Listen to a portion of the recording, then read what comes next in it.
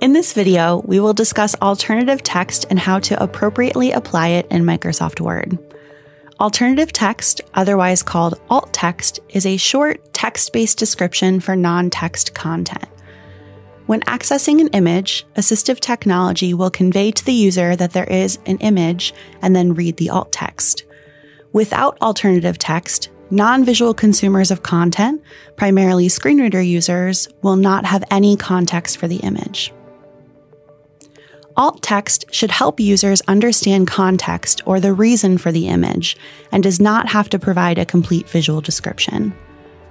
When writing alt text, do not start with image of or picture of.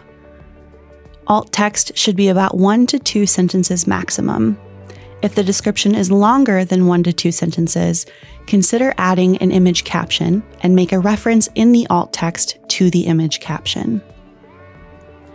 To add alt text to an image, right click on the image and select Edit Alt Text.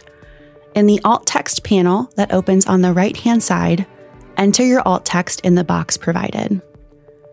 If you would like to complete this process utilizing a keyboard, hit the Alt, R, A1, and L keys. In the alt text panel that opens on the right hand side, enter your alt text in the box provided. The Generate Alt Text for Me button can be used to automatically generate alt text, but the alt text should be reviewed and modified appropriately.